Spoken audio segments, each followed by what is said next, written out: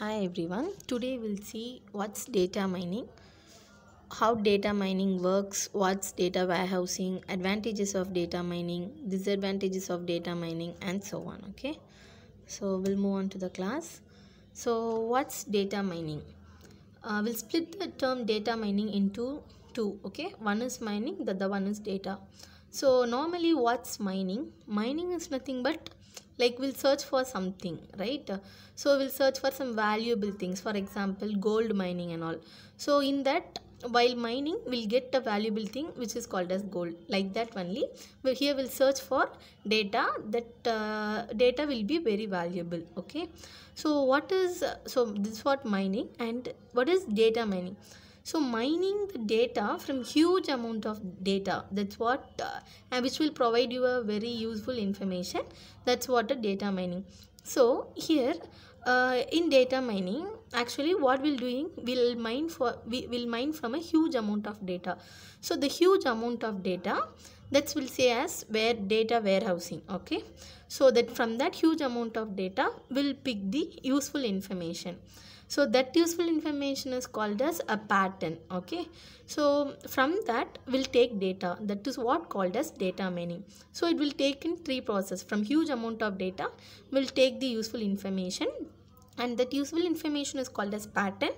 And then from that we'll take the data. That's what a data mining okay? So it's nothing but analyzing um, like massive amount of data and which turns the data into useful information okay so data mining can be used by many business organizations okay? From that uh, like they learn about what customers are interested in and uh, like what are the customer needs. By mining by mining the data they can uh, like what the customer are interested in particular product and so on okay? So many social media company can also use this data mining technique like to generate uh, some many more profit for them okay? So they are also using the uh, mining technique. And so as i told uh, a huge amount of data is called as data warehousing i told right? So then my next one is what's data warehousing? It's nothing but a large collection of uh, data which help an organization to make some decisions. Like collecting a data from huge data. That's what uh, that huge data is particularly called as data warehousing okay? So next is how data mining works so data mining is nothing but like uh, how it works means like uh, uh, some like uh, uh, initially it will start with asking a right question and they'll provide answer no? Uh, and collect that answers and preparing for data and making the analysis of that data okay? If the question like later only maybe like it will be know that whether my which one will be success or not. If my data are correct that then it will be a success one. If so it will be a poor quality of data okay? So this what uh, data mining works. Like uh, asking a very correct question and uh, answering to that question by from that they'll take the data.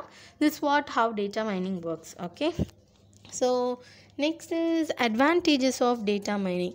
Advantages of data mining is uh, like um, it helps companies like uh, they'll from that they'll take uh, reliable information and it's very efficient. And uh, it is also a cost uh, cost is not that much high okay? So uh, I'll I'll show you in what's data mining about a little bit a diagrammatic representation so this is what a data mining. See like uh, increase company revenue to predict it will also predict the future mo- mostly used in uh, business organizations like marketing and so on finance uh, and so on. This is what about where the data minings are used and what's data mining and all okay?